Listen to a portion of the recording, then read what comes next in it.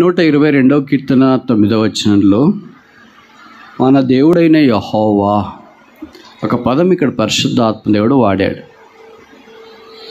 యహోవా అనే పేరు పాత నిబంధనలో విరివిగా మనకు కనిపిస్తుంది. యహోవా అనే పేరు దేవుడు అనే పేరుకు ప్రత్యామ్నాయంగా పాత నిబంధనలు వాడబడుతూ వచ్చింది.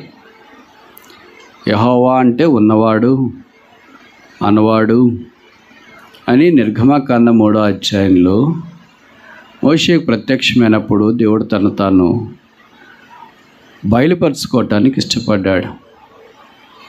ఆ పేరు బైబిల్లో చాలా విస్తారంగా గ్రంథస్థం చేయబడింది. అన్ని పుస్తకాల కంటే ఎక్కువగా కీర్తన గ్రంథంలో యహోవా అనే మాట విరివిగా వాడబడుతూ వచ్చింది. కనుక దేవుడు అనే జనరల్ పదానికి యహోవా అనే పదము స్పెసిఫిక్ పదం. దేవుడు అనేది క్రైస్తవేతరులు కూడా వాడతారు.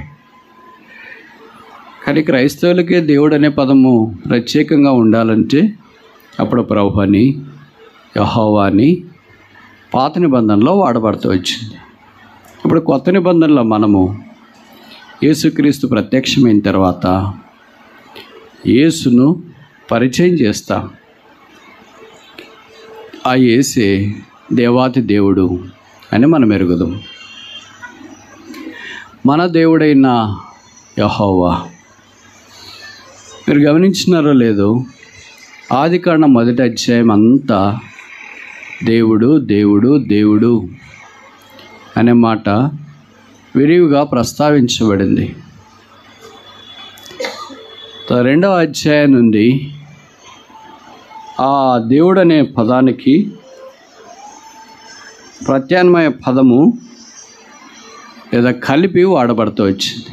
దేవుడైన యహోవా ఫర్ లార్డ్ గాడ్ రెండవ అధ్యాయంలో ఆది కాండంలో ఆ పదం మొదట మనకు పరిచయం చేయబడింది. అయితే యహోవా అనే మాట మాత్రం మొదటి నాలుగో అధ్యాయంలోనే మనకు కనిపిస్తుంది. ఆ ఒక్క పదం మాత్రం అక్కడి నుండి పరిశుద్ధాత్మ దేవుడు దేవుడు అనే ప్రధానికి ప్రత్యామ్నాయంగా యహోవాని లేదా దేవుడైన యహోవాని లేదా వట్టిగా యహోవాని వాడినాడన్న సంగతి బైబిల్లో మనం ఎరుగుదాం. ఇప్పుడు ఇది ఏ దేవుని మందిరము అని అంటే మన దేవుడైన యహోవా మందిరము అని మనకు ప్రత్యేకంగా జ్ఞాపకం చేయబడుతూ ఉంది. మన దేవుడైన యహోవా ద లార్డ్ అవర్ గాడ్ ఇదొక ప్రత్యేకమైన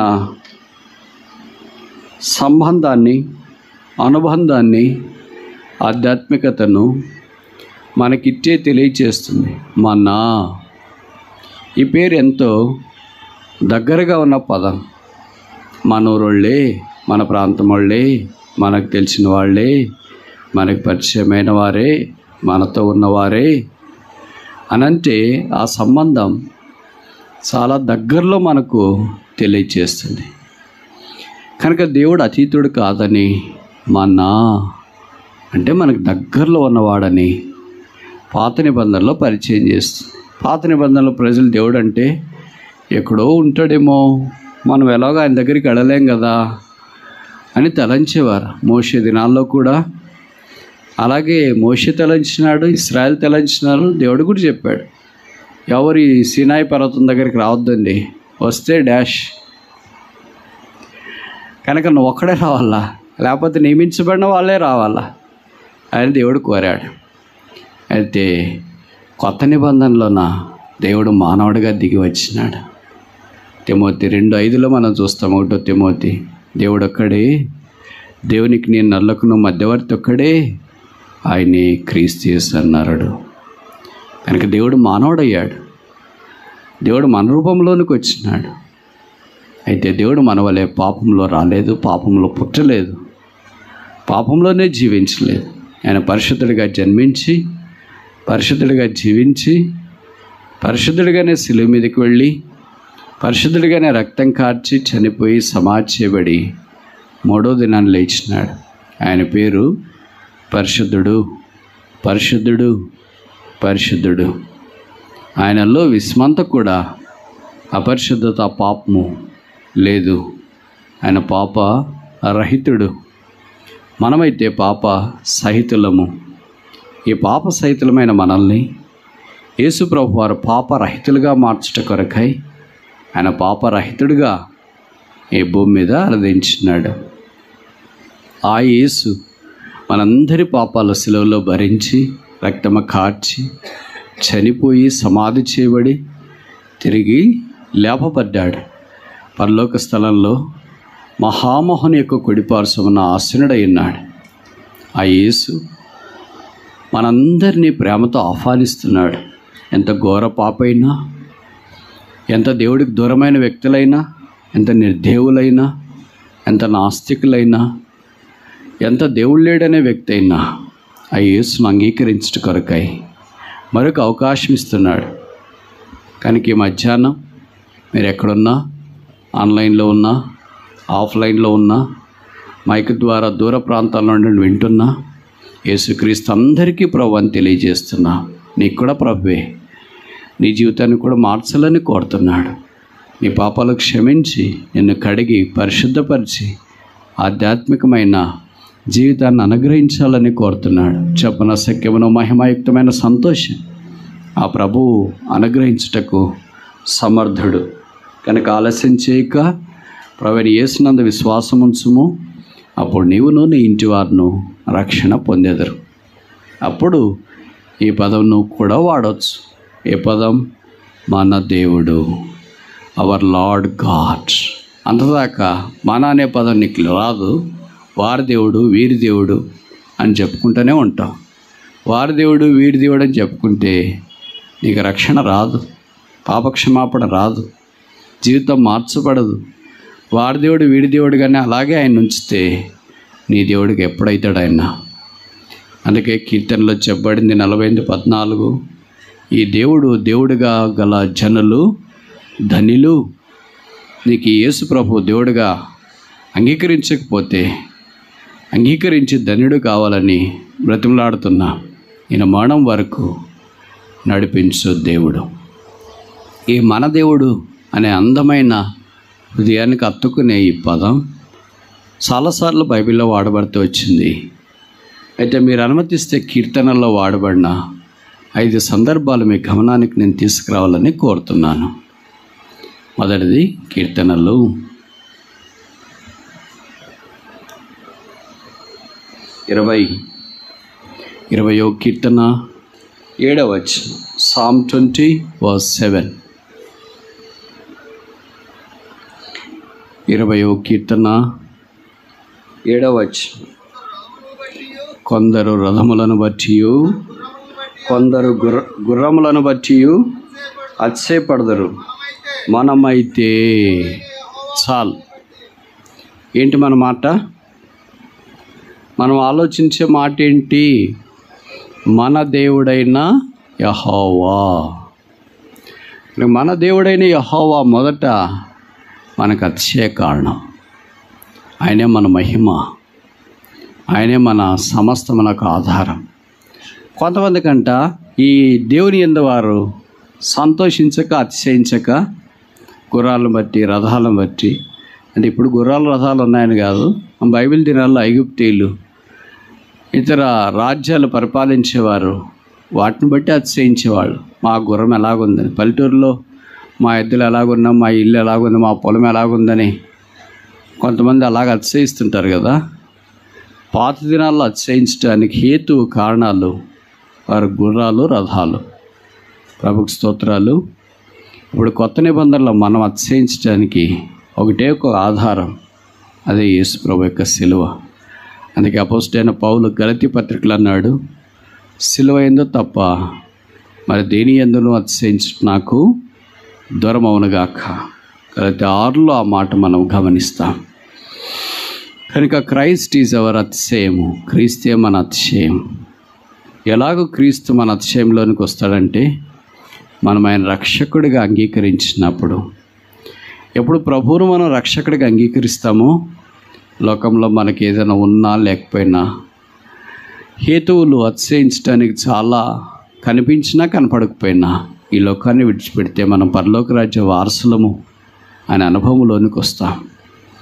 అంతకంటే అతిశయం ఇంకో భూమి మీద ఏమీ లేదు. పశు లోకముల అధికారాలు ధనఘనతలు ఐశ్వర్యాలు అందము చదువు స్థానము హోదా ఇవన్నీ తాత్కాలికమే. మీ లోకంలో రోజు పేపర్ చూస్తుంటారు లేదా టీవీలో న్యూస్ చూస్తుంటారు ఇలాగ వాట్సాప్లో న్యూస్ చూస్తుంటారు. మీకు అన్నీ అనిపిస్తుంటాయి. కొంతమంది పదవులు లేని వాళ్ళ పదవులు వస్తుంటాయి ఉన్నవాళ్ళు కోల్పోతుంటారు ఆరోగ్యంగా ఉన్నవాళ్ళు ఆరోగ్యం కోల్పోయి ఉంటారు. తర్వాత బాగున్న వారి లోకాన్ని విడిచిపెట్టి వెళ్ళిపోతూ ఉంటారు. ఇదంతా జీవిత చక్రం. రకరకాల రంగుల హరవిల్లు. ఏది ఏనాడు జరుగుతుందో మనిషినికి తెలియదు ఎరగడు. అయితే ప్రభువు మన మనిషిని యొక్క జీవితాన్ని మార్చి తన యందు అతిశయించేవారిగా. అంటే జీవితం అంటే ఈ లోకానికి మాత్రమే కాదు ఈ డెబ్బై ఏళ్ళు ఎనభై ఏళ్ళు మాత్రమే కాదు. ఇదంతా తాత్కాలికమే. ఇక్కడ లాసర్ లాంటి పేదవాళ్ళు బతకొచ్చు పేరు చెప్పబడని ధనవంతులు లాంటి వాళ్ళు కూడా బతకవచ్చు కానీ ఇద్దరికి ఒకటే సంప్రాప్తమైంది. దాన్నే మరణము అంటారు. కనుక ఇద్దరికి సంప్రాప్తమయ్యేది ఒకటే. ఇద్దరికి ఆకలి ఉంది ఇద్దరికి నిద్ర ఉంది ఇద్దరికీ ప్రాణం ఉంది ఇద్దరికీ శరీరం ఉంది అలాగే ఇద్దరికీ మరణం సంప్రాప్తమైంది. మరణం తర్వాత what is next after the death? మరణం తర్వాత ఏంటి? ధనవంతుడు పాతాళంలోని కొనిపోబడ్డాడు. లాజరు అబ్రహాము రొమ్మనుగా ఆనుకోవటానికి కొనిపోబడ్డాడు. లాజరు ఇప్పుడు ఆకలితో ఉండవలసిన పని లేదు. అతిశయముతో అబ్రహాము రొమ్మన ఉన్నాడు. అదే మన అతిశయం. మన డబ్బు అందచందాలు ఐశ్వర్యాలు ఇల్లు భోగభాగ్యాలు సకల సుఖాలు మనతో పాటు చివరిదాకా రావు. అవన్నీ తాత్కాలికం. ఎండమావులు ఎండమావులు ఎంతకాలం ఉంటాయి? ఎండమావులు ఎంతకాలం ఉంటాయి? ఎండాకాలం అంతా ఉంటాయి. అది మూడు నెలలు నాలుగు నెలలు.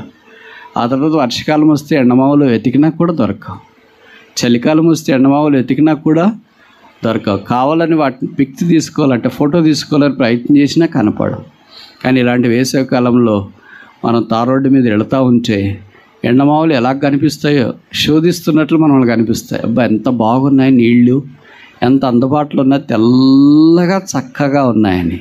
చిత్రం ఏంటంటే అవి మావులు అది మాయ అదొక మిరేజ్ వాస్తవ జీవితం కూడా అలాంటిది అని ఏ వ్యక్తి గుర్తిస్తాడో ఆ వ్యక్తి దేవుని అతిశయించడానికి అవకాశం ఉంది.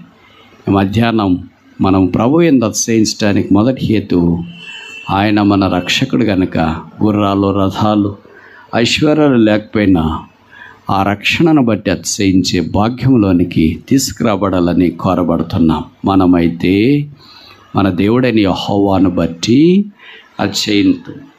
రెండవది చూస్తామా? కీర్తనలు. అన్నీ కీర్తనలోనే మనం చూస్తాం. తొంభై తొమ్మిది తొమ్మిది. Psalm ninety nine verse nine చాలు. మన దేవుడైన యహోవా పరిశుద్ధుడు. మనం ఏ మాటను గురించి ఆలోచించడానికి ఆరంభించినా? మన దేవుడైన యహోవా అనే మాటను గురించి ఈ మొదటి సెషన్లో ఆలోచించడానికి ఆరంభించినాం. కనుక మన దేవుడైన యహోవా విశిష్ట లక్షణాలు ఎలాంటివో వాక్యం ద్వారా మనం చూడటానికి ప్రయత్నిస్తున్నాం. మొదటిది అతిశయించడానికి మన హేతువు మన దేవుడైన యహోవాయే. రెండవది మన దేవుడైన యహోవా పరిశుద్ధుడు పరిశుద్ధుడు పరిశుద్ధుడు. ఆయన త్రియేకత్వంలో అంటే మూడు సార్లు ఎందుకు చెప్పబడింది అనే దాన్ని బైబిల్ పండితులు రకరకాలుగా వర్ణిస్తారు. కొంతమంది అంటారు తండ్రి అయిన దేవుడు పరిశుద్ధుడు కుమారుడైన దేవుడు పరిశుద్ధుడు పరిశుద్ధాత్మ దేవుడు పరిశుద్ధుడు. వాస్తవమే. ఇంకా కొంతమంది అంటారు ఆయన గత కాలంలో పరిశుద్ధుడు వర్తమాన కాలంలో పరిశుద్ధుడు భూతకాలంలో కూడా పరిశుద్ధుడు. ఇది కూడా వాస్తవమే. ఇంకా కొంతమంది అంటారు ఆయన భూమి మీద పరిశుద్ధుడు మూడవ ఆకాశంలోనూ పరిశుద్ధుడు ఆయన నివాస స్థలంలో కూడా పరిశుద్ధుడు. ఇది కూడా వాస్తవం. ఆయన పరిశుద్ధుడు అనేది చాలా వాస్తవం. అందుకే ఆయన పరిశుద్ధతే దేవుని మందిరానికి అనుకూలము అని కీర్తనలో చెప్పబడింది. కీర్తన తొంభై మూడు ఐదు. కీర్తన తొంభై మూడు ఐదు. Psalm ninety three verse five నీ శాసనములు ఎన్నడూ తప్పిపోవు. యహోవా ఎన్నటెన్నటికీ పరిశుద్ధతి నీ మందిరమునకు. మన టాపిక్ మన దేవుడైన యహోవా మందిరం కదా.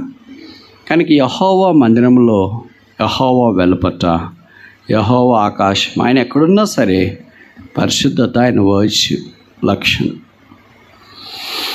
ఆయన దానికి విరోధమైనది తర్వాత వేరైనది ఎప్పుడు ఏనాడు చేయడు. ఆయన మాటలు పరిశుద్ధం ఆయన ప్రవర్తన పరిశుద్ధం ఆయన బోధ పరిశుద్ధం ఆయన నడవడి పరిశుద్ధం ఆయన చూపులు పరిశుద్ధం ఆయన జీవితం పరిశుద్ధం ఆయన రాజ్యం పరిశుద్ధం ఆయన నివాస స్థలం పరిశుద్ధం ఆయన పట్టణం కూడా పరిశుద్ధం. అందుకే దాని పేరు ఏంటంటే పరిశుద్ధ పట్టడము అంటారు. ఆయన పుస్తకం కూడా పరిశుద్ధం. దీని పేరేంటి? పరిశుద్ధ గ్రంథం. మీలో చాలామంది చదువుకునే వాళ్ళు ఉంటారు కదా. మీకు రకరకాల పుస్తకాలు ఉంటాయి. Social science mathematics rough notebook long notebook తర్వాత ఇంకేంటి? కాంపోజిట్ నోట్బుక్ అసైన్మెంట్లు ఇలాగ రకరకాలు అంటారు కదా. మీరు ఏ పుస్తకమైనా ఎప్పుడైనా మీ తమ్ముడు కానీ అన్నో చెల్లు ఎవరైనా ముట్టుకుంటారా? ఇది ముట్టుకోదు ఇది పరిశుద్ధం అన్నారా? ఎవడైనా సైన్స్ బుక్ ఇమ్మంటారు అమ్మాయి సైన్స్ బుక్ ఇవ్వు అంటారు కానీ పరిశుద్ధ సైన్స్ బుక్ ఇవ్వు అంటారా? మ్యాథ్స్ బుక్ ఇవ్వు అంటారు కానీ పరిశుద్ధ మ్యాథ్స్ బుక్ ఇవ్వు అంటారా? డిక్షనరీ ఇవ్వు శంకర్ నారాయణది అంటారు కానీ పరిశుద్ధ శంకర్ నారాయణ డిస్ట్రిబ్యూటరీ ఇవ్వు అంటారా? ఆక్స్ఫర్డ్ డిక్షనరీ కేంబ్రిడ్జ్ డిక్షనరీ ఇవ్వు అంటారు కానీ పరిశుద్ధ ఆక్స్ఫర్డ్ పరిశుద్ధ కేంబ్రిడ్జ్ ఇవ్వమంటారా? భూమి మీద ఆరు వేల సంవత్సరాల మానవ చరిత్రలో పుస్తకాల బండాగారం విస్తారం లెక్కింప సఖ్యం కాదు. ఎన్ని కోట్లు ఎన్ని బిలియన్ మిలియన్స్ వచ్చినాయో మనకు తెలియదు అయితే ఒకే ఒక పుస్తకం. టైటిల్ క్యాప్షన్ ఏంటంటే పరిశుద్ధ గ్రంథం. ఏ పుస్తకానికి టైటిల్ చూడం కనపడదు. కనుక ఆయనే అంత పరిశుద్ధం. ఆయన పుస్తకం పరిశుద్ధం. ఆయన రాజ్యం పరిశుద్ధం. ఆయన మందిరం కూడా పరిశుద్ధం. అలాంటి పరిశుద్ధ దేవుడు మనలాంటి పాపల కొరకై మనల్ని కూడా పరిశుద్ధులుగా చేటి కొరకై పరిశుద్ధ రాజ్యాన్ని విడిచి ఏ రాజ్యానికి వచ్చాడు? పాపల రాజ్యానికి వచ్చాడు. పాపలు పరిశుద్ధ రాజ్యానికి వెళ్ళడం ఇష్టపడతారు కానీ పరిశుద్ధులు పాపల రాజ్యానికి వెళ్ళటానికి ఎలాగ ఇష్టపడతారు? సాధారణంగా అది జరగదు. కానీ ఇక్కడ మాత్రమే జరిగింది. మానవ చరిత్రలో దేవుడు మానవుల మధ్యలో నివసించడానికి వచ్చిన. అందుకే బైబిల్లో రాయబడింది ఇదిగో మనుషుల మధ్య దేవాది దేవుడు వాసము చేయొచ్చు మనుషుల మధ్యలో వాసం అంటే నివాసం కలిసి ఉండట కాపురం ఉండట అలా కాపురం ఉండటానికి వస్తామా? మనం ఏదో వివాహాలు చేసుకోవటానికే ముప్పై నలభై ఏళ్ళుండి ఈ వివాహ బంధానికి ఎన్నో ఆలోచిస్తారు. కులాలు ఆలోచిస్తారు ప్రాంతాలు ఆలోచిస్తారు చదువులు ఆలోచిస్తారు స్థాయిలు ఆలోచిస్తారు బ్యాక్గ్రౌండ్ ఆలోచిస్తారు. అన్నీ ఆలో మనకేం లేకపోయినా ఇతరులకు అన్నీ ఉండాలని అనుకుంటాం. మనకు రంగ లేకపోయినా ఇతరులకు అన్నీ ఉండాలని. దానికి ఎవరైనా మనం చెప్పినాం అనుకోండి. మీరు రంగ లేకపోయినా ఇతరులు రంగు ఉండాలని ఎందుకు కోరుకుంటారంటే వాళ్ళు చాలా తెలివైన గుంటూరు జవాబు చెప్తారు. ఏంటో తెలుసా? లేదా పల్నాడు జవాబు. మాకు ఎలాగో లేదు కదండి. వాళ్ళకన్నా ఉంటే బాగుంటుందని. ఇద్దరు ఒకే రంగంలో ఉంటే కష్టం కదా. కనుక మనం ఎన్నో కోరుకుంటాం ముప్పై నలభై సంవత్సరాల ఈ వైవాహిక బంధానికి. అయితే ప్రభు ఇలాంటిది ఏమీ మన యుద్ధనుంది నేను వెళితే వాళ్ళు నా రంగంలో ఉన్నారా? నా ప్రాంతంలో ఉన్నారా? నా వల్ల వారి పరిశుద్ధులుగా ఉన్నారా? నా వల్ల తగ్గింపు ఉందా? దీనత్వం ఉందా? నాలాంటి మంచితనం వాళ్ళకు ఉందా దాళ్ళ ఇవి ఏమీ ఆలోచించలేదు. ఎందుకంటే ఇవేవి నరపురుగులో కనబడవు. ఏదైనా కనిపిస్తుంది ఈ నరపురుగులోనంటే అరికాలు మొదలుకొని నన్నెత్తి దాకా పాపమో. దాన్ని తీసివేటి కొరకాయి పరిశుద్ధుడు మన కొరకు ప్రత్యక్షమయ్యాడు. కనుక మన దేవుడు పరిశుద్ధుడైన వాడు మొదటిది ఆయన నశించడానికి హేతువైన వాడు రెండవది ఆయన పరిశుద్ధమైన వాడు మూడవది చూస్తామా? కీర్తనలు. నూట పదమూడు. ఐదు సామ్ హండ్రెడ్ అండ్ థర్టీన్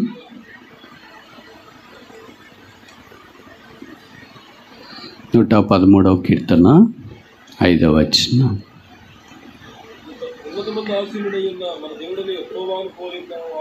చాలు. మన దేవుడైన యహోవా మన దేవుడైన యహోవా మన దేవుడైన యహోవా. ఉన్నత స్థలమందు ఆసీనుడైన మన దేవుడైన యహోవాను పోలి ఉన్నవాడెవడు? మీకు తెలుసు కదా ఇలాంటి ప్రశ్నలు బైబిల్లో మనకు కనిపిస్తాయి. పోలిన వాడెవడు ఎన్నిసార్లు రాశారు తెలుసా? ఈ మాట బైబిల్లో. మొదట ఎక్కడ రాశారు తెలుసా? చివరికి ఎక్కడ రాశారు తెలుసా? పోలిన వాడు ఎవడంటే who is like unto our God మన దేవుని వంటి దేవుడు ఎక్కడా? Who is like unto our Lord God మన దేవుడైన యహో వంటి వాడెక్కడా మొదటిది మనకు నిర్గమకాండం పదిహేను అధ్యాయంలో పరిచయం చేయబడిన పదం. ఈ ప్రశ్నకు జవాబు ఏంటంటే ఎక్కడ లేడు అని అర్థం. అర్థమైంది అనుకుంటా? బైబిల్లో ఇలాంటి దేవుని గురించి ప్రశ్నలు వస్తే నన్ను అడగగలవాడెవడు? నా చేయి పట్టుకొనగలవాడెవడు? నాకు జవాబు చెప్పగలవాడెవడు? నన్ను అర్థం చేసుకోగలవాడెవడు? నన్ను పోలినవాడెవడు? నాకు సముడైన వాడెవడు అనే ప్రశ్నల పరంపర మనకు కనిపించినప్పుడు అర్థం ఏంటంటే జవాబు ఎవరు లేరు అని. There is none who is like unto me నా వల్లే ఎవరున్నారు? అని అంటే జవాబు నన్ ఎవరు లేరు. ఆయన ఒక్కడే. ఆయన కాలాతీతుడైన దేవుడు. ఆయన ఉన్నత సింహాసనమందు ఆసీనుడైన దేవుడు. కీర్తనలోనే ఈ మాట నాకు తెలిసి. కనీసం ఐదు సార్లు మనకు కనిపిస్తుంది. అంటే కీర్తనాకారులు ఆ దేవుని యొక్క ఔన్నత్యాన్ని గుర్తించిన వారే. మరలా మరలా మరలా మరలా ఆయన వంటి వాడేవాడు? ఆయన వంటి వాడేవాడు? ఆయన వంటి వాడేవాడు? దేవుని గురించి అని చాలామంది చెప్తారు. దేవుడు మనుషుని గురించి మన గురించి దేవుడు ఏమని చెప్పగలడా? ఆ సిస్టర్ లాంటి వాళ్ళు ఎవరు? ఆ బ్రదర్ లాంటి వాళ్ళు ఎవరు అని. పాపం విషయం అయితే మన గురించి ఫస్ట్లోనే చెప్పేయచ్చు. వాళ్ళ వల్ల పాపం చేసే వాళ్ళు ఎవరు ఉన్నారు? ఆ బ్రదర్ వల్లే ఆ సిస్టర్ వల్లే అని. కానీ పరిశుద్ధత దగ్గరికి వచ్చేటప్పటికి నేను అనుకుంటా దేవుడు ఒక వ్యక్తిని గురించి అలాగ చెప్పాడు. యోబు గ్రంథంలో చెప్పబడింది యోబు వంటి మానవుడు ఎవడు? ఓ ఈజ్ లైక్ అంటే జో అంటే అర్థం ఏంటి? యహోవా వంటి వాడేవాడు? దేవుని గురించి చెప్పొచ్చు కానీ మనుషుని గురించి. యహో వంటి వాడేవాడంటే దేవుని గురించి గొప్పగా చెప్పుకొని మన దాన్ని మనం వెళ్ళిపోవాలని కాదు. మనము కూడా అలాంటి జీవితంలోనికి రావట కొరకు ప్రయాసపడాలని అలాంటి జీవితం ఆపేక్షించాలని అలాంటి జీవితాన్ని అనుసరించడానికి ఇష్టపడాలని దేవుని యొక్క అభిలాష. అందుకే యోబులంటే మానవుడు ఎవరు తిరస్కారాన్ని శ్రమలను మంచినీళ్ళ వలె పానం చేసాడట మంచినీళ్ళు కష్టపడి తాగేవాళ్ళు ఎవరు ఉంటారు చేతులు ఎత్తండి మంచినీళ్ళు కష్టపడి తాగేవాళ్ళు ఒకళ్ళే మాడపడక మీద ఉండేవాళ్ళే. వాళ్ళు ఎలాగ మింగిలేరు కనుక స్పూన్ తీసుకొని ఒక చుక్క చుక్క చుక్క చుక్క చుక్క వేసి బయట చెప్తుంటారు మింగు మింగు మింగు మింగు మింగు మింగు. అంతేనా? ఇంకా మిగతా ఏ వ్యక్తికి ఇప్పుడు వేసవికాలంలో మీకు నీళ్ళు తెచ్చిస్తే వద్దు అంటారా? మిగటానికి నాకు కష్టమా అని అంటారా? మామూలు గుంటూరు జిల్లాలో ఆ సిస్టమ్ ఉంటుంది. కూర్చున్న వాళ్ళకి అక్కడి నుండి నీళ్ళు తెచ్చి సిస్టమ్ ఏదైనా నీళ్ళు తెచ్చినా ఒకవైపు తాగుతూనే ఉంటే ఒకవైపు చెమట రూపంలో బయటికి వెళ్ళిపోతూనే ఉంటాయి కానీ నీళ్ళు తాగడం చాలా చాలా తేలిక. మంచినీళ్ళ వల్లే ఆయన తిరస్కారాన్ని పానం చేశాడు. అని వాక్యంలో చెప్పాడండి ఆయన వంటి వాడేవాడు? కనుక దేవుని వంటి వాడేవాడు? బాగుంది. ఆ ఉన్నత స్థానంలోనికి మనం కూడా రావాలని దేవుని యొక్క అభిలాష. మనల గురించి ఎవరైనా సంఘంలో అలాగే చెప్తారు. అక్క వాళ్ళ లాంటి వాళ్ళు ఎవరు అన్న లాంటి వాళ్ళు ఎవరు తమ్ముడు లాంటి వాళ్ళు ఎవరు చివరి లాంటి వాళ్ళు ఎవరు. మంచి కొరకు చెప్తారా? మంచి కొరకు చెప్పరేమో. భవిష్యత్ చెడు కొరకు చెప్తున్నారేమో. అలాగైతే మనం ప్రభు యొక్క ఆశయాల్లోనికి రాలేదు కదా. ఇంకా దూరంగా ఉన్నాం కదా.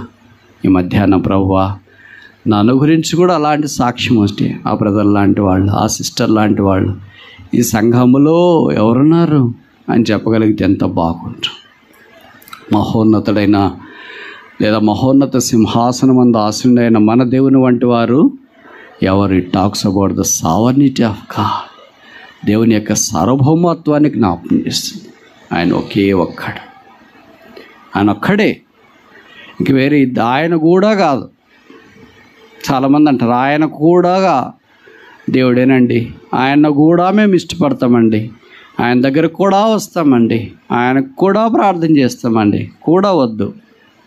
ఒక్కడే లోకరక్షకుడు ఒక్కడే పాపల స్నేహితుడు ఒక్కడే పాపం క్షమించేది ఒక్కడే సృష్టికర్త ఒక్కడే సృష్టి నిర్వహిస్తున్నది ఒక్కడే బాగు చేసేది ఒక్కడే అన్నిటినీ చక్కచేయగలిగేది ఒక్కడే పాపిని మార్చేది ఒక్కడే సంఘాన్ని కట్టేది ఒక్కడే.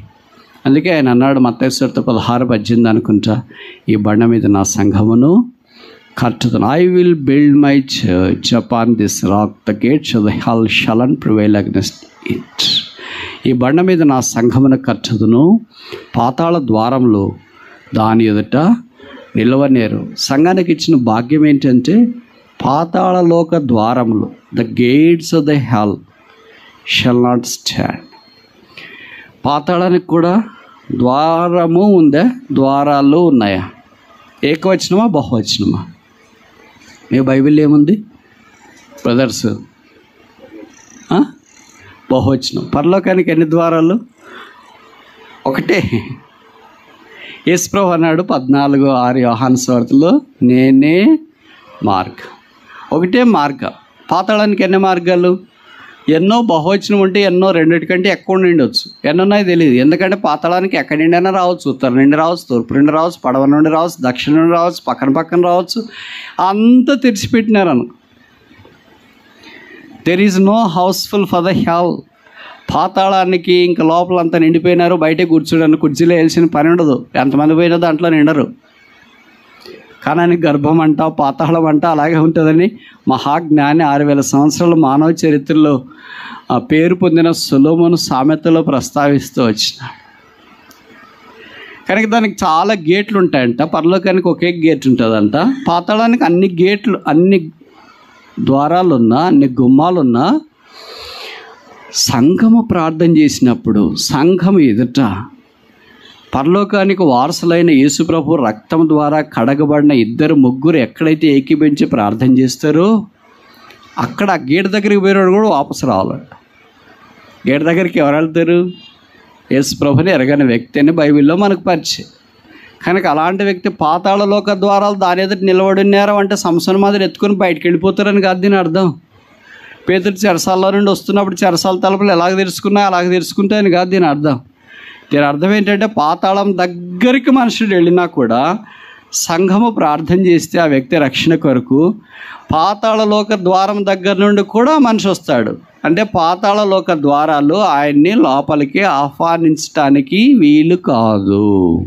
నిలువ నేరవు. అవి స్వాగతం పలకలేవు.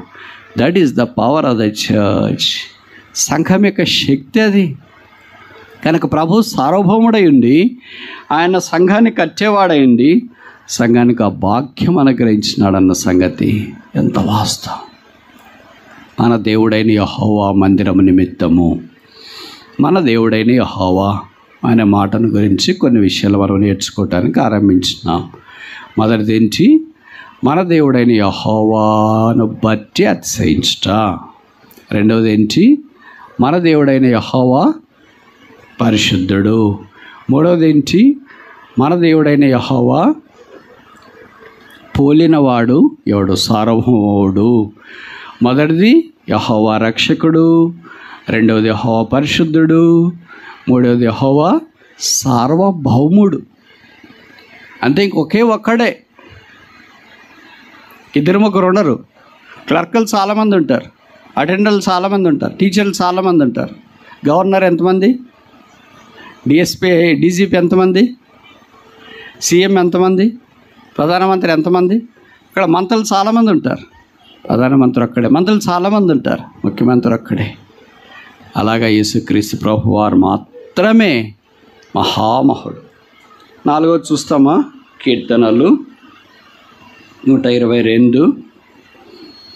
ఇందాక మనం చూసాం కదా తొమ్మిదవ వచ్చిన మన దేవుడైన యహోవా మందిరము నిమిత్తము నీకు మేలు చేయ యత్నించదును. కనుక మన దేవుడైన యహోవా మందిరంలో నివసించువాడు. ఆ నివాసస్థలం కలిగిన వాడు అందుకే ఎనభై నాలుగో కీర్తన మొదటి వచనంలో సైన్యములు కలిపదికి యహోవా నీ నివాసములు ఎంత రమ్యములు. భక్సింగ్ గారికి ఇష్టమైన ఫేవరెట్ వర్సెస్లో అది కూడా ఒకటి. హౌ అమైబుల్ ఆర్ దై టమణికల్స్ ఓ గాడ్ హౌస్ సైన్యములకు అధిపతికి యహోవా సైన్యములకు అధిపతికి యహోవాకి లేదా సైన్య అధిపతి అయిన వ్యక్తి ఎక్కడ ఉంటాడు? కోటలో ఉంటాడు. ఎక్కడ ఉంటాడు? కొండ మీద ఉంటాడు. ఎక్కడ ఉంటాడు? బురుజులో ఉంటాడు. ఎక్కడ ఉంటాడు? అంతఃపురంలో ఉంటాడు. కానీ ఇక్కడ చాలా కాంట్రాస్టింగ్ రాస్తారు కదా. పారాడాక్సికల్ అంటారు. అంటే మాకేం చేత కాదు అంటాడు అపోస్టైన పౌల్. అదే సమయంలో ఏం చెప్తాడంటే నేను ఏమైనా చేస్తా అని చెప్తాడు. I can do all things in Christ the strengtheneth me నన్ను బలపరచు క్రీస్తు నేను సమస్తము చేయగలను అంటాడు. మళ్ళీ ఒక దగ్గర ఏం చెప్తే నేను బలహీనుణ్ణి అంటాడు. ఆ బలహీనుడైన వాడు కొన్యా చేయొచ్చేమో కానీ సమస్తం ఎలాగ చేస్తాడు? దీన్నే కొత్త నిబంధనలో ప్యాడాక్సెస్ అంటారు. అంటే ఏమి లేని వారమై ఉండియు సమస్తం కలిగి ఉన్నాం దరిద్రులమై ఉండియు ధనవంతులమై ఉన్నాం. అపాయంలో ఉండియు ఉపాయం లేని వారము కాదు. కనుక ఇవన్నీ చాలా తేడాగా అనిపిస్తుంటాయి. ఏంటి రెండు రెండు రకాలుగా చెప్తారు మీరు. మీ నాలుగు రెండు రెండు రకాలుగా ఉంటుంది అని బైబిల్ తెలియని వాళ్ళు కొన్నిసార్లు అలాగ అడుగుతూ ఉంటారు. యేసుక్రీస్తు ప్రభు వారికి వలపట మనం ఏమీ లేని వారము. అయితే యేసు ప్రభువులో మనం సమస్తాన్ని కలిగి ఉన్నవారం అందుకే ఇక్కడ దేవుని యొక్క మందిరావరణం యహోవ మందిరములో ఆయన మేలు చేయటానికి మనకి ఇష్టపడేవాడు. దేవుని మేలు మనం పొందాలంటే దేవుని మంది రావడంలోనికి ప్రవేశించడం అందుకే సైన్యములకు అధిపతిగా యహో అంటే ఆయన సైనికుడిగా లేదా సైన్యాధిపతిగా ఏదో కోటలోనో బురుజులోనో అంతఃపురంలో లేదు. గుడారములో ఉన్నాడు సైన్యాధిపతి గుడారంలో ఉంటాడా? ఉంటే వాడికి భద్రత ఉంటుందా? దాడులు జరగవచ్చు కదా? అది భౌతికంగా ఆలోచించినప్పుడు కానీ ఆత్మీయంగా ఆలోచించినప్పుడు దేవుని గుడారములు రమ్యమైనవి. ప్రశస్తమైనవి. అలాంటి దాంట్లోనికి ఆయన మనల్ని తోడుకొని వచ్చినాడు. ఆ గుడారమే కొత్త నిబంధనలు యేసుక్రీస్తు ప్రభు. ఐదవ దాకా చూసి ముగిస్తామా? కీర్తనలు నూట ఇరవై మూడు. రెండవ వచనం psalm hundred and twenty three verse నూట ఇరవై మూడవ కీర్తన రెండవ వచనం. దాసుల కనులు తమ యజమానుని చేతి తట్టును దాసి కనులు తన యజమాను తన యజమానురాలి చేతి తట్టును చూచున్నట్లు మన దేవుడైన యహోవా మనలను కరుణించు వరకు మన కనులు ఆయన తట్టు ఎవరైనా మన దేవుడైన యహోవా ఏం చేస్తాడు? కరుణించువాడు. ఆయన పేరే కరుణామయుడు. ఆయన కరుణించేదాకా ఆయన చేతులతో చూస్తూనే ఉండాలంట. మీలో కొంతమందికి పరిచయం ఉంటుంది కదా. సిటీలో ఉన్నవాళ్ళు ఇంట్లో పని చేయటానికి ఎవరైనా పని అమ్మాయి అలాంటి వాళ్ళు వస్తే పని అంతా అయిపోయిన తర్వాత వాళ్ళు ఓనరాకు చెప్తారు వెళ్ళొస్తానమ్మా అని. ఆమె ఎక్కడో ఉండి సరేలే అనింది అనుకో. సరేలే అంటే ఎలరు వాళ్ళు. మళ్ళీ ఎక్కడికి వస్తారు? ఆమె దగ్గరకు వచ్చి ఎదురొచ్చి వెళ్ళొస్తానమ్మా అని చెప్తారు. "ఆ, సరేలే అనింది వెళుతున్నానమ్మా అని చెప్తాను ఇంకోసారి. ఎందుకు అలాగ చెప్తారంటే ఏదైనా టీ ఉందా? లేకపోతే ఏదైనా రాత్రిది మిగిలిపోయింది ఉందా ఆమె ఏమన్నా మర్చిపోయిందేమో? ఈయడం మర్చిపోయిందేమో? అని మరలా మరలా మరలా మరలా ఎలాగైతే దాసి తన యజమానురాళ్ళ వైపు చూసి చెప్తూ ఉంటుందో. అప్పుడు మూడుసార్లు రెండుసార్లు చెప్పేటప్పటికి పక్కన ఇంకోళ్ళు ఉంటారు కదా ఎవరు యజమానుడు? ఆయనకి ఎలగుతుంది? అన్నిసార్లు అమ్మాయి చెప్తుందంటే ఎందుకు చెప్తుంది తెలియట్లేదు? అన్న ఊరికా అంటే లోపల నుండి. ఏమైనా ఉంటే రాత్రిది అది ఇది ఇవ్వు లేకపోతే ఏం లేదమ్మా సాయంకాలం రా అని చెప్పు. అంటే ఎట కుదురుతుంది? అంటే అప్పుడు వెలుగుతుంది మనకి. అప్పుడు అయ్యో ఉందే. ఏదో ఫ్రిడ్జ్లో పెట్టినామే ఏదో బయట ఉంది ఏదో ఆ పాత్రలో ఉందే. అదైతుందేమో ఇది అయిపోతుందేమో అప్పుడు ఆమెకి రాలేక ఆమె చెప్తుంది. అక్కడ ఏదో ఉంది బాగుందో లేదు చూడు. బాగుంటే దీంట్లోనే తీసుకెళ్ళు బాగాలేకపోతే పడేసిపోవాలి అలాగ దాసురాలు తెలిసి యజమానురాలు వైపు చూచినట్లు దాసుడు తన యజమాని వైపు చూచినట్లు మనం ఆయన ఇద్దరు నుండి సహాయం పొందు పర్యంతం ప్రార్థన ఆలకించి కరుణించేవాడు. కనికరమంద ఐశ్వర్యవంతుడు. ఆయన వలే కరుణించేవాళ్ళు ఎవరున్నారు? ఆయన కనికరముల ఐశ్వర్యం. మనం కఠినత్వంలో ఐశ్వర్యవంతులు. మనం అందుకే చెప్తాం నేను కఠినంగా నేను చూడు నా ఒరిజినాలిటీ చూపిస్తే మీరు అంతే ఇంకా అని చెప్తాను అందులో పల్నాడు సింహం మనమంతా పల్నాడు సింహాలు కావచ్చు లేదా భూమి మీద ఉన్న సింహాలు కావచ్చు రాయలసీమ సింహాలు కావచ్చు ఒకడే ఒకటి ఉదాగోత్రపు సింహం. దావీదు వేరు చిగురు జయం పొందినవాడు యేసుక్రీస్తు ప్రభు. కనుక ఆ ప్రభు వారు కరుణించేదాకా ఆయన స్థితిలో మనం ఉండాలని కోరబడుతున్నాం సప్లికేషన్ అంటే ప్రార్థన విజ్ఞాపన. మన దేవుడైన యహోవా కరుణించువాడు. ఇలాంటి దేవుడు ఎక్కడున్నాడు? కఠినంగా ఉండేవాళ్ళు చాలామంది ఉండొచ్చు. ఉద్యోగం చేసే దగ్గర తర్వాత మనం పనిచేసే స్థలాల్లో పొలం దగ్గర యజమానులు కానీ మందిరాల్లో ఎక్కడైనా చాలామంది కఠినంగా ఉండేవాళ్ళు కనిపిస్తారు. కరుణ కలిగిన వాళ్ళు కనిపించే చాలా అరదు. రైతుల్లో అలాంటి వాళ్ళు ఉంటారా? విశ్వాసంలో అలాంటి వాళ్ళు ఉన్నారా? బోధకులు అలాంటి వాళ్ళు ఉన్నారా? పరిచయస్తులు అలాంటి వాళ్ళు ఉన్నారా? అలాంటి వాళ్ళు ఉన్న పక్కన వాళ్ళు ఏంటంటే వాళ్ళు కరుణించుకోకుండా చేస్తారు. ఆ ఏమి ఇస్తారులేండి వాళ్ళకి ఎప్పుడు అలాగే ఉంటారని. ఏం సాయం చేస్తారులేండి ఎప్పుడు అలాగే ఉంటారని. కానీ ప్రభు అలా కాదు. ఆయన గుప్పిలు విప్పితే సర్వజీవి కోరికలు తీర్చబడుతున్నాయి. ఆయన కరుణకు మితి లేదు. అందుకే ఆయన కనికరమంది ఐశ్వర్యవంతుడు. అపోసుడైన పౌలు రోమపత్రికలు అన్నాడు ఆయన ఎవరిని కరుణిస్తాడు? వారిని కరుణిస్తాడు. ఎవరి మీద జాలి పడతాడు? వాని మీద జాలి పడతాడు. అందుకే ఈ దినాల్లో వీవీఎస్లో మామూలుగా మనం వేసవికాలంలో అది పాట పాడుతుంటాం కదా. భర్తమే పాట. మార్గంలో వాడు కేకలేస్తున్నాడు. దావేది కుమారా నన్ను కరుణించు. దావేది కుమారా నన్ను కరుణించని కేకలేస్తుంది గుడ్డివాడు. యేసు ప్రభు వారు అక్కడికి వచ్చి వాడిని చూచి వాడిని కరుణించినాడు. ప్రభు కరుణిస్తే తిరుగులేదు ఎదురులేదు. మనుషులు కరుణిస్తే మరలా మరలా అవసరం కావచ్చు. బైబిల్ రాయబడింది వాడు చూపు పొందినాడు. ప్రభు కరుణి కనికరము కరుణ విస్తారమైంది. దాన్ని మన పెదాలు వివరించలేవు. దాన్ని మన చెవులు పూర్తిగా గ్రహించలేవు. మన హృదయం పూర్తిగా ఎరగలేదు. కనుక మన దేవుడైన యహోవా కరుణ గలవాడు కనికరం గలవాడు. అందుకే ఎబ్రి నాలుగు పదహారులో చెప్పబడింది. ఏంటా మాట? ఎబ్రి నాలుగో అధ్యాయము పదహారో వచ్చిన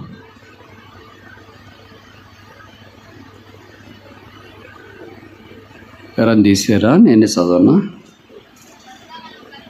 కనుక మనము కనికరింపబడి అంటే కరుణించబడి. చాలు. ఎందుకు కరుణించబడాలా? ఎందుకు మనకు కరుణ కావాలా? కరుణ కాకపోతే ఏమైద్ది? ప్రార్థన చేయలేవు. అంటే కృపాసనం యొద్దకు సమీపించాలి థ్రోన్ ఆఫ్ గ్రేస్ అంటారు.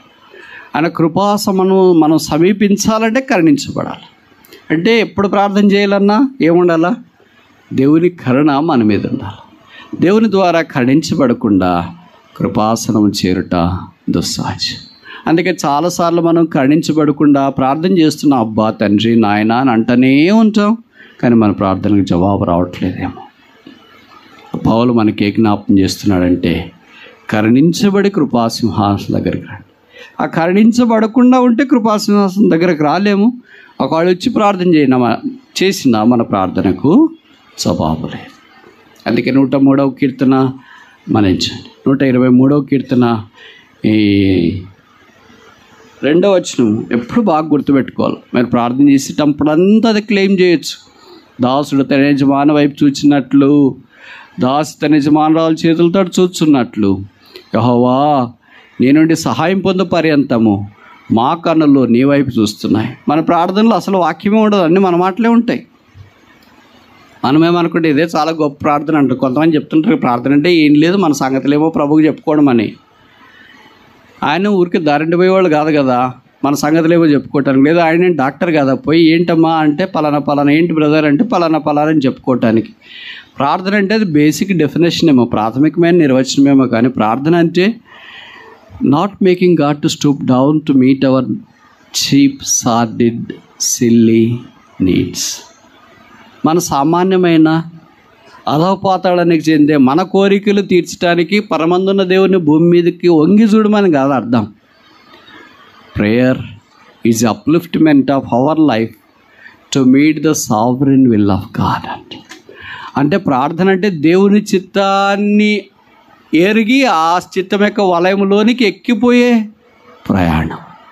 అందుకే యేసుప్రభు ఇది గిచ్చమని తోటలో చేశాడు. Not my will thy will be done that is the highest realm of prayer అది ప్రార్థన. ఎప్పుడైనా ఇలాంటి ప్రార్థన చేసినట్టు మనకు గుర్తుందా? ఆ, ఎప్పుడు నన్ను దీవించు మా ఆయన దీవించు మా ఆవిడ దీవించు మా సంఘాన్ని దీవించు మా సేవకుడు దీవించు అందరిని దీవించు. వీలైతే మిమ్మల్ని కూడా దీవించుకో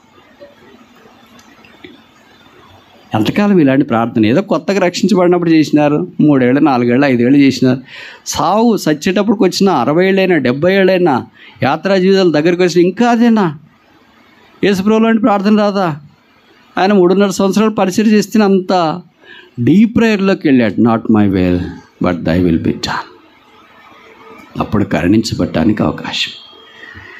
ముగించక మునపు మన దేవుడైన యహోవా ఐదు సార్లు కీర్తనలో ప్రస్తావించబడింది. కనీసం ఇంకా చాలాసార్లు ఉంది. ఇది ఐదు మాత్రం మనం చూసుకున్నాం. మొదటిది ఏంటి? ఆయన మన రక్షకుడు. అందుకే ఆయన ఎందు అతిశయిస్తున్నాం. రెండవది ఏంటి? ఆయన మన పరిశుద్ధత. అందుకే ఆయన పరిశుద్ధతను బట్టి అతిశయిస్తున్నాం. మూడవది ఏంటి? ఆయన మన సార్వభౌముడు. ఒకే ఒక్కడు. ఆయన పోలిన వాడెవడనో లేడు. నాలుగోది ఏంటి? ఆయన మన మందిరం. దేవాలయం కంటే గొప్పవాడు ఇక్కడ ఉన్నాడు మత్స్యవార్తలో చెప్పబడింది. ఐదవది ఆఖరిది ఏంటి ఆయన మన కనికరమంద ఐశ్వర్యం గలవాడు లేదా కరుణించువాడు. మన దేవుడైన యెహోవా. ఎంత దగ్గర చూడండి. మన అనేది మనం మన ప్రాంతంలో ఉన్నంత దాకా మనకు విలువ ఉండదు. కదా? మీరు అమెరికా వెళ్ళారనుకోండి. ఎక్కడైనా విమానంలో వెళ్తున్నాడు ఎవడో తెలుగు అయ్యి ఎవరో మన తెలుగు మాట్లాడుతున్నారు. ఇంకా దగ్గర వాళ్ళు గుంటూరు అసలు మాట్లాడినారు అనుకోండి వచ్చేసారా? కూర్చున్నారా? లెగినారా? అయ్యో గుంటూరు వేస్తున్నట్టుంది గోదావరి మాట్లాడినారు వచ్చేసారా? ఎంతసేపు అయిపోయింది? వచ్చేసి. ఇక్కడ గోదావరి అనుకుంటున్నా. రాయలసీమ భాష వచ్చినావా? ఏం చేస్తున్నావు? ఓ అరే మన రాయలసీమ ఉన్నట్టుంది వెంటనే వాళ్ళతో. కనెక్ట్ కావడం మీది ఏ ఊరండి? మాది గుంటూరు. గుంటూరులో ఎక్కడ? పల్నాడు. పల్నాడా? పల్నాడులో ఎక్కడ? పల అబ్బా మన మన మన ఇంక దగ్గరకు వచ్చేటప్పటికి ఎంత అవినాభావ సంబంధంలోనికి వస్తా? మన ప్రభుత్వం కూడా మన మన మన మన అనే అవినాభావ సంబంధంలోనికి వస్తుంది ఆయన వారి దేవుడు కాదు మన దేవుడు. మన దేవుడైన యహోవాను బట్టి మనం అతిశయిస్తాం ఆతిశయంలో కొనసాగనట్లుగా మన దేవుడు మనకు సహాయం చేయనిగాక. ప్రార్థన.